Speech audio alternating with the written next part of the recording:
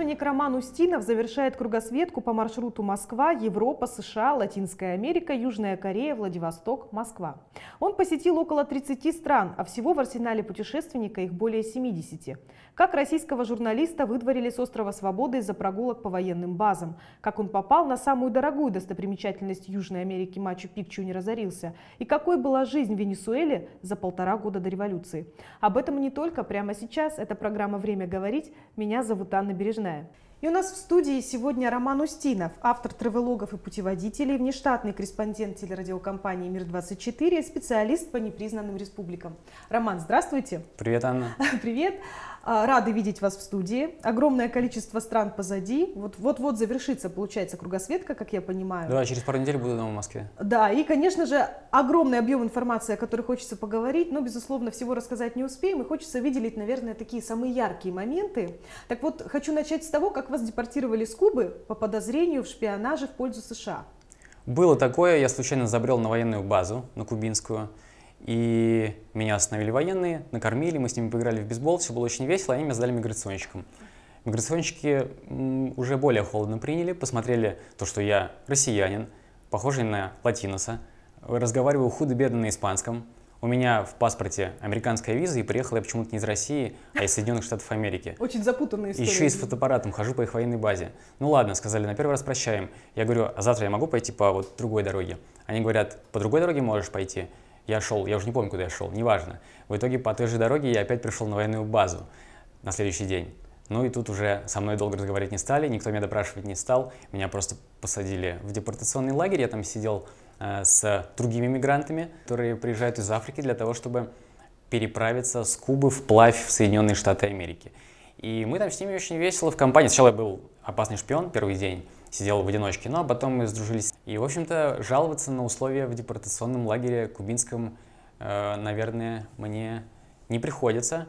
Но, конечно, опыт интересный. Через три недели, через три дня я уже улетел э, в Штаты, и вот на следующие три года, уже два прошло, въезд на Остров Свободы мне, к сожалению, запрещен. Но есть еще 200 с лишним стран, и на Кубе свет клином не сошелся. Я думаю, да, еще раз вернусь когда-нибудь. Ну, я так понимаю, ты вообще не ищешь легких путей и всегда выбираешь самые опасные точки планеты для путешествий? Ну, не всегда, мне все точки планеты интересны. Вот я сюда к вам в Владивосток прилетел из Кореи.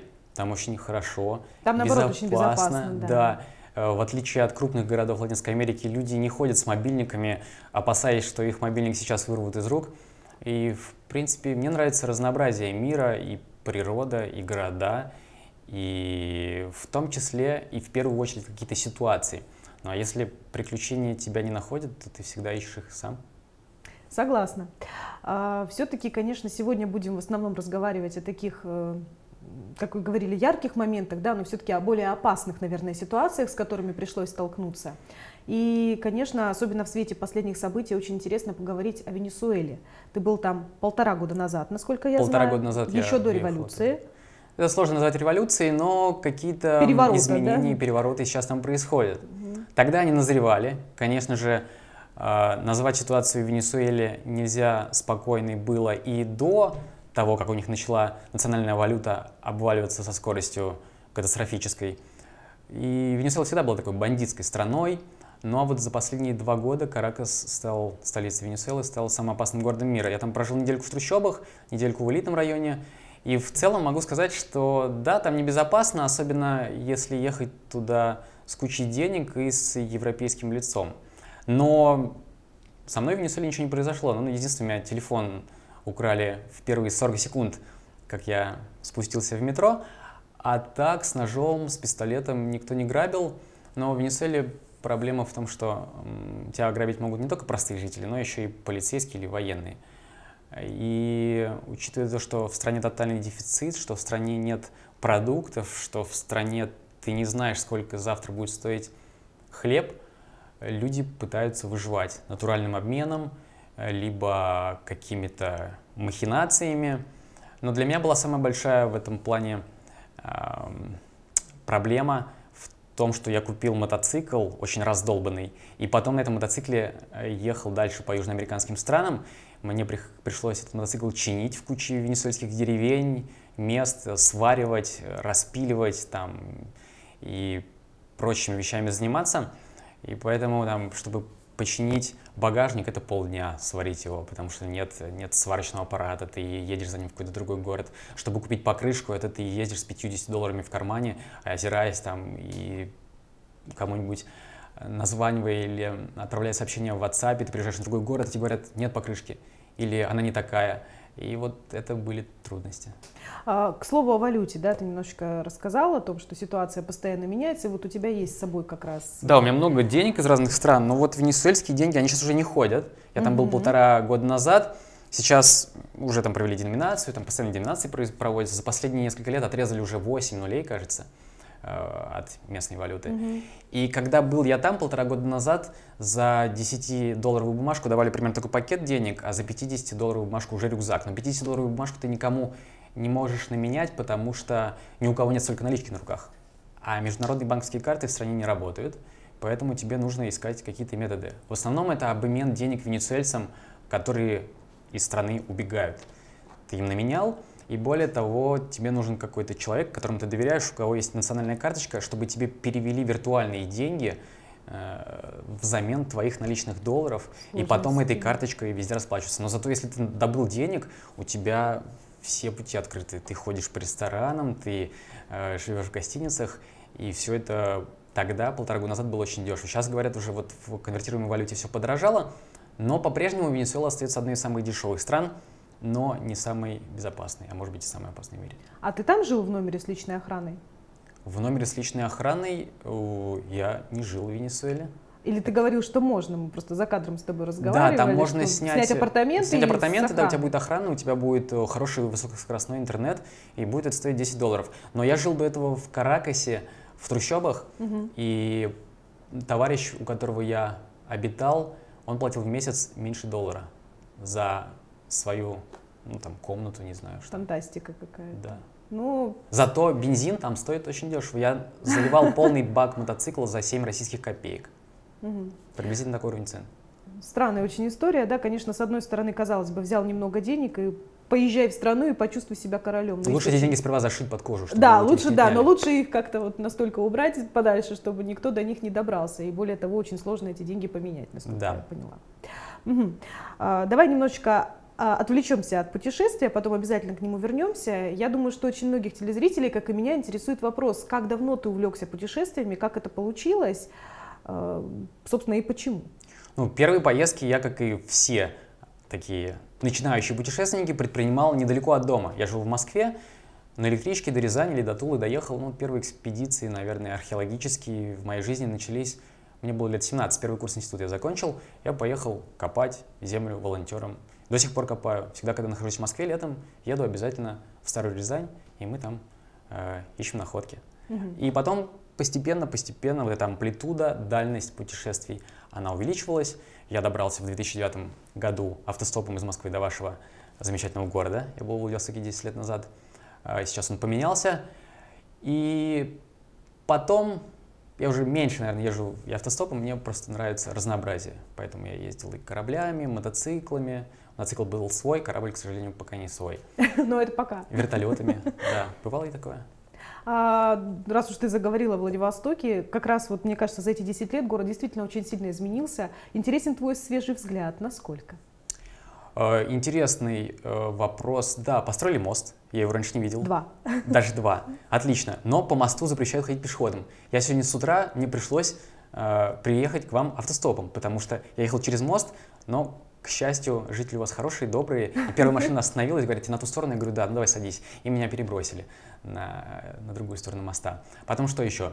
Меня очень удивило огромное количество алкомаркетов. В каждом втором э, доме на первом этаже находится алкомаркет.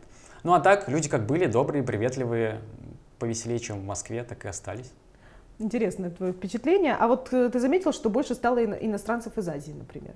Да, я сегодня вот буквально встретил группу корейских туристов возле какой-то русской православной церкви, трудно назвать ее название, и китайские надписи, корейские надписи, ну и, конечно же, наши братья из Средней Азии, узбеки, таджики, я немножко отличаю языки, слышу, что количество иностранной речи на улицах прибавилось. Надеюсь, что это идет к городу во благо. И мы тоже будем на это надеяться. Не, ну, на, самом деле, то, что у нас стало больше туристов из Азии, это, конечно, объяснимо. Я думаю, не стоит телезрителям даже об этом рассказывать, это все понятно. Но я с тобой соглашусь, сейчас город изменился, и когда ты, например, в час пик выходишь в центр, очень много э, граждан Китая, Кореи. Это интересно. Ну так вот, о другом поговорим. Вернемся все-таки к путешествию. Кругосветное путешествие длиной в два года это, конечно, ну, достаточно серьезная штука-то на самом mm-hmm. деле. Так вот, э, как ты готовился и готовился ли к этому? Или ты проснулся и решил ринуться? Ну, вперед? я не готовился. У меня вообще это путешествие изначально не планировалось как кругосветное.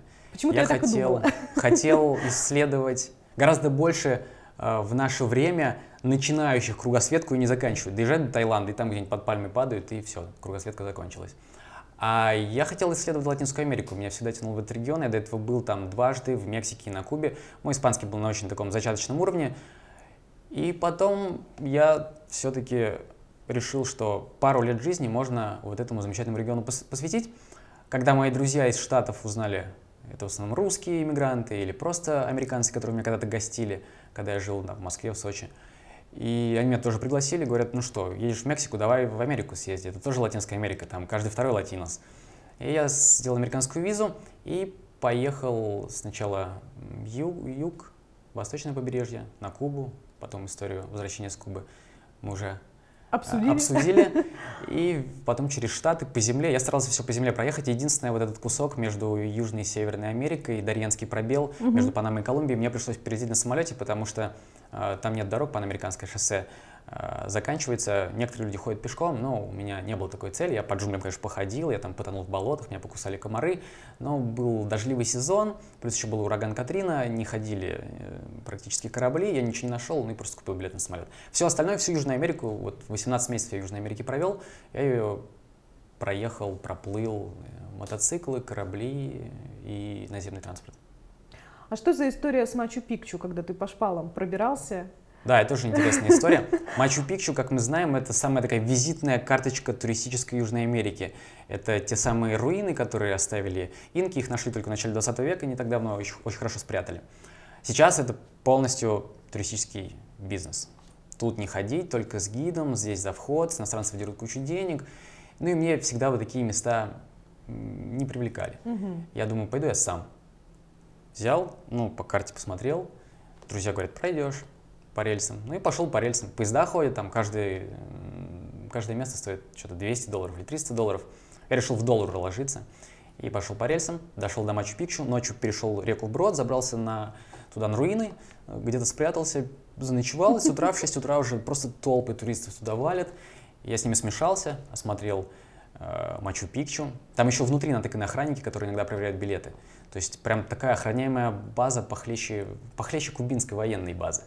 Вот, ну, посмотрел Мачу-Пикчу, вернулся, вот и вся история. На самом деле в Южной Америке есть гораздо более приятные места, и даже в том же Перу, где находится Мачу-Пикчу, ты уходишь вдаль от туристических троп, и там люди совершенно другие. Они тебе, а, они тебя зовут в гости, они живут очень достаточно бедно, но они тебя зовут в гости, они тебя угощают.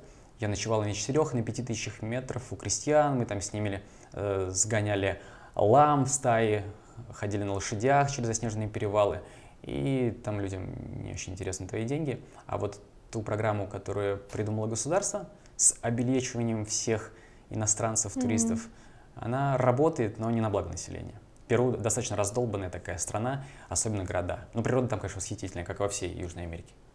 Ром, придется ненадолго прервать наш интересный очень разговор. Давай сделаем небольшую паузу. Мы прервемся на короткую рекламу, а после продолжим. Оставайтесь с нами.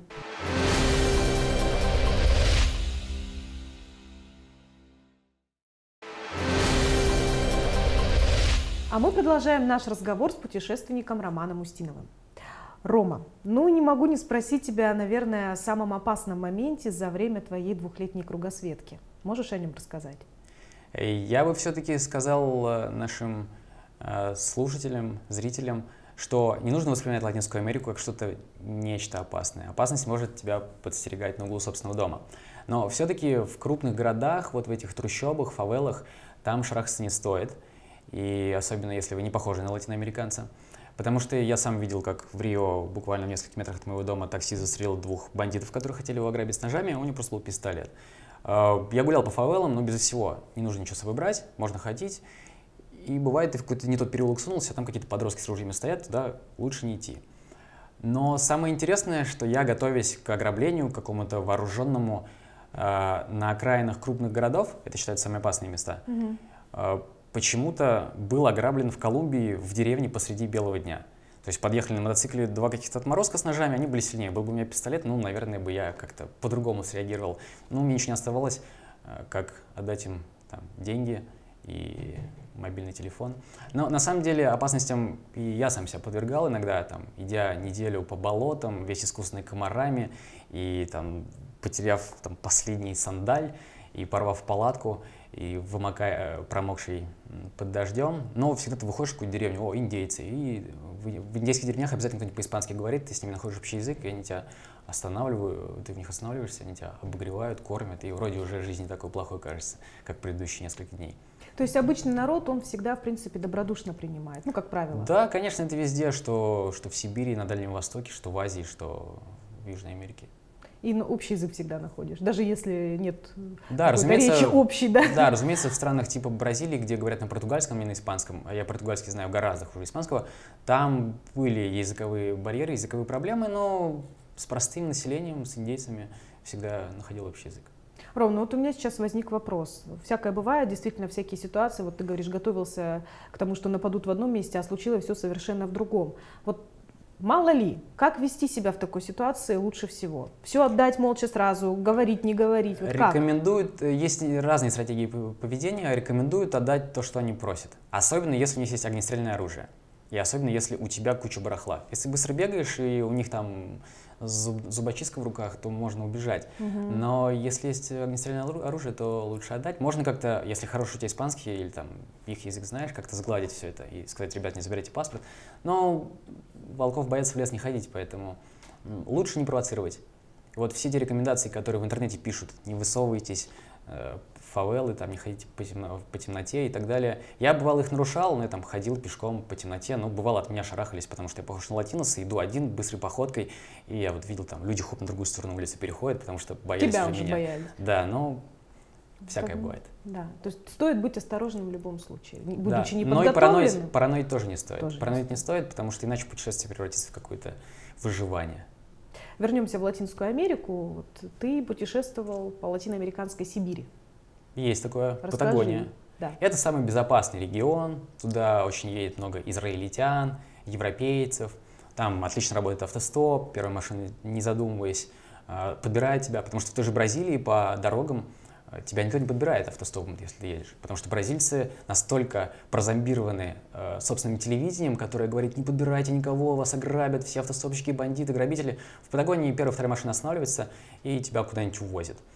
Это край такой хороший, приятный, единственное прохладно, конечно, там, единственное там бездорожье, но м-м, глаз радуется, глядя на все эти пейзажи, отдыхаешь от вот этой э, суеты латиноамериканских городов, и туда бы я советовал ехать для первого знакомства с Латинской Америкой. Но единственный перелет, конечно, на другую часть глобуса, он может выйти в копеечку. Это там и дорого, это не Гондурас, где манго сами в рот падают, и там, например, мешок карт... О, килограмм картошки стоит, наверное, больше 100 рублей, а, а зимой еще дороже. Но, еще раз повторюсь, там очень и очень приятно. А, например, э, Огненная земля, где находится самый южный город мира, Ушуая, это вообще такая точка встречи всех путешественников, кругосветчиков, он Владивосток напоминает. Владивосток это же тоже место, где либо кто-то стартует, либо кто-то заканчивает mm-hmm. свое путешествие. Точно так же у Шуая. Там собираются мотоциклисты, велосипедисты, там собираются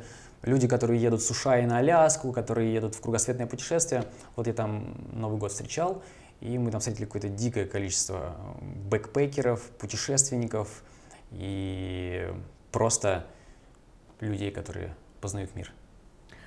А, у тебя очень интересные блоги, ты очень подробно все описываешь, и я хочу сказать, чтобы не забыть вдруг, не дай бог, что можно почитать, да, зайти, почерпнуть какую-то да, полезную информацию. Без ты пишешь проблем. во ВКонтакте, где еще можно почитать твои блоги? На Фейсбуке, на своем сайте. вообще книжки пишу. У меня вот сейчас готовится к изданию четвертая книга, а, она будет называться «Разноэтажная Америка». И уже где-то две трети книги готовы, я надеюсь, к осени она поспеет. То есть все твои советы можно будет прочесть в книге, ну не только советы, а истории подробные твоих путешествий. Лучше не воспринимать мою книгу как советы, я не советую ходить в военные базы и шляться по фавелам Рио-де-Жанейро. Ну, я думаю, наверное, это даже, да, правильнее будет сказать предостережения некоторые. Как, как не стоит вести себя в путешествиях, да? А если вдруг попался, как выкручиваться? Как выкручиваться? Это да. самое главное. Главное выкрутиться, уметь выкрутиться. Ну вот, к слову, про уметь выкрутиться, у тебя ведь в Колумбии тоже была история интересная. Ты пошел, если не ошибаюсь, искать затерянный город и потерялся сам. Да, был дело. Я тоже пошел по болотам, потому что там, э, ну, опять бизнес, все хотят с туристов там 300 баксов за тур. Ну, я пошел сам. И я встретил индейцев, которые жили немножко в стороне от туристических маршрутов, и говорю, вот меня на карте есть дорога, пройду, конечно, пройдешь. Ну, а индейцы такие лежат mm-hmm. в гамаках, жуют коку. И я пришел в этот город, меня потом поймали эти билетеры, там тоже какие-то военные охраняли этот затерянный город. Это что-то типа колумбийского Мачу-Пикчу, не такая известная штука. И когда я уже обратно шел, я понял, просто я вот в такие джунгли встрял, у меня ни мачете нет, и еще река, которую я переходил с утра, она поднялась, и то есть я в такой ловушке оказался. А у меня, разумеется, ни еды нет, ничего. Палатка вся вымокла, потому ну, что сезон дождей. это на самом деле. Ну, такая веселая. И потом вернулся к индейцам, когда вода спала. Я говорю, какая дорога? Да нет никакой дороги. Ну, мы там ходили 8 лет назад, она там mm. была. Я говорю, ну, понятно, 8, 8 лет назад джунгли очень быстро зарастают, если там не ходить, они э, непроходимыми становятся. А, к сожалению, скоро пора заканчивать. У меня есть такой, мне кажется, немаловажный вопрос, который очень напрашивается. Вот в контексте отношения людей к тебе в разных уголках Земли, если подводить итоги, вот что бы ты сказал, какой бы ты вывод сделал? Ну, конечно, людей хороших, гостеприимных и добродушных в этом мире гораздо больше, чем плохих. И в Латинской Америке люди в целом очень веселые, общительные, улыбаются больше, чем мы. Uh, у них uh, нет проблем с тем, чтобы тебя пригласить, накормить, и ты там все время делишься тем, что у тебя есть. Им очень интересна Россия. Первым вопросом у нас, uh, у них, который задавали мне, в России холодно? Холодно. Как дела у Путина? Я говорю, нормально. Э, их всех интересует Россия, особенно на фоне вот этого чемпионата мира по футболу, который прошел в прошлом году. Я его провел там в Боливии, в Перу, и они меня спрашивают, что ты здесь делаешь, тебе надо быть там, там футбол. Я говорю, ну мне футбол не так интересен, мне интересно вот с вами тут по горам походить, там лампа есть. Вот, и тогда они понимали меня. То есть с ними общий язык найти можно. Ну и это везде так. На самом деле люди далекие от туристических мест, люди далекие от всяких бизнесов, они хорошие. И бояться вот именно людей во время путешествий не стоит. Не нужно бояться, наверное, обращаться с помощью, правда? Конечно, особенно если ты говоришь на местном языке, если ты его на каком-то уровне знаешь, то тебе всегда помогут. Даже ну, ты, не знаешь, и ты помогал людям, я знаю. Да, я очень много волонтерил. Да, венесуэльцев там, как э, Иисус там хлебами накормил всю вселенную, вот так же я, у меня была 10-долларовая бумажка, я купил огромное количество пиццы, мы там всем дома эти пиццы ели. А ну и вообще я очень много волонтерил во время своих путешествий. Мы лечили индейцев в Гватемале, э, в клинике у одной русской девушки. А затем я волонтерил в Гондурасе, в Бразилии, в Гаяне и даже на юношеских Олимпийских играх в Буэнос-Айресе, которые прошли в прошлом, в этом, в прошлом, не помню, недавно совсем. Mm-hmm. И самое классное волонтерство, конечно, было в Гондурасе. Ты просто лежишь в гамаке, неделю раскачиваешься, и потом мне надоело такое волонтерство, я оттуда уехал. Такие тоже, мне кажется, очевидные вполне вопросы. Куда ты планируешь отправиться в следующий раз? Может быть, будет очередная кругосветка? И куда бы ты обязательно хотел вернуться? Нет, за количеством кругосветок я не гонюсь. Это кругосветка, как я уже сказал, спонтанная. И кругосветка это скорее как, не знаю, не очень нужная в биографии путешественника галочка. Просто так получилось. Но в Латинскую Америку я бы еще вернулся, но не сейчас. Нужно какой-то взять... Выждать. Выждать, взять какую-то паузу. Конечно, есть еще неисследованные места, например, в Сельве, в эквадорско-перуанской. В Аргентину бы я вернулся, потому что там люди хорошие, ну и в целом я там провел полгода суммарно в этой стране. А сейчас нужно другими делами заниматься, не только путешествовать, потому что путешествие — это лишь один из этапов жизни человека, которые помогают тебе лучше узнать мир, помогают выучить языки, но все время вот так вот наворачивать вокруг планеты эм, неправильная методика, потому что все оставившие в этой жизни след люди, а, по крайней мере в последние столетия, они в основном созидали на месте. Эпоха великих географических открытий у нас давно закончилась. Колумб и его последователи, они уже все открыли, все, что можно. Поэтому конкретно сейчас я планирую сконцентрироваться на других задачах, написать книгу, поучиться в любимом университете, поработать, конечно, потому что без денег тоже путешествовать э, не стоит. Но меня все-таки влекут такие экзотические страны. На Мадагаскар бы съездил, может быть, в Бутан в какой-нибудь, в Монголию. Эти страны есть в планах, но сейчас они не в приоритете. Я думаю, все еще впереди. Последний вопрос, точнее не вопрос, а, наверное, такое наставление начинающим путешественникам, да и вообще всем путешественникам. Вот твой самый главный совет, который бы ты дал? Э, самый главный совет э, всегда нужно держать в уме, что когда ты отправляешься за пределы своего дома, за пределы своего города или за пределы своей страны, нужно думать, что ты в, лиц, в глазах окружающих представляешь свою страну. И нужно в первую очередь вести себя адекватно. Да, может быть языковой барьер, да, может быть какое-то недопонимание, но не нужно там попрошайничать деньги, не нужно ругаться, не нужно э, заниматься сомнительными вещами. И нужно быть открытым миру, нужно научиться вести себя целесообразно в стране и ситуации, в которой ты находишься. И тогда проблем, по большому счету, быть не должно. Ну и, конечно, обращаться за советом ко всяким э, путеводителям, ну не те, которые в книжках печатаются, а к людям, которые недавно проехали и которые знают, объяснять тебе, как страной пользоваться, как регионом пользоваться. То есть советы бывалых тоже изучать стоит. Но всегда нужно помнить, что ты сам в ответе за то, что вокруг тебя происходит, и ты сам должен выкручиваться из всех ситуаций, в которые ты попадаешь. Мне кажется, это очень нужный совет, и я, к слову, впервые слышу его от путешественника. Спасибо тебе большое. Спасибо вам. И спасибо, что пришло, пришел к нам сегодня. Спасибо за этот разговор. До встречи. До встречи. Я напоминаю, что это была программа «Время говорить». В студии работала Анна Бережная. Увидимся на восьмом.